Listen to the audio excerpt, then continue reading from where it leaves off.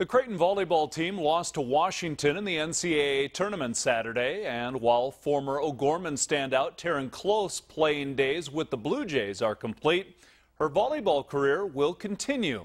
KELOLAND's Sean Bauer has that story. Taryn Kloth is one of the top volleyball players to come out of South Dakota. Her career at both O'Gorman and for her club team Kairos caught the attention of Creighton head coach Kirsten Bernthal Booth.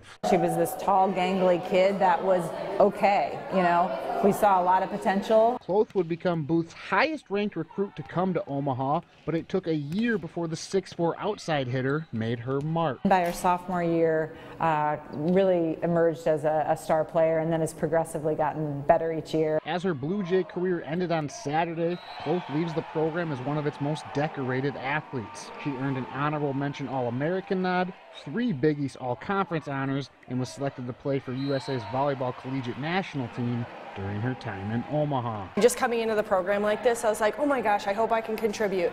And then when I got to invited to USA, I mean, that was just such an honor and everything that I've been given.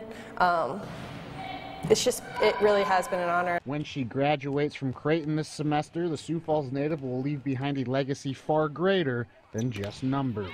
She's such a fantastic young woman, you know, on and off the court. She's a great teammate, she's a captain, um, and I think, you know, we really pride ourselves in not just building volleyball players, but, you know, bringing in great people that are going to build that culture.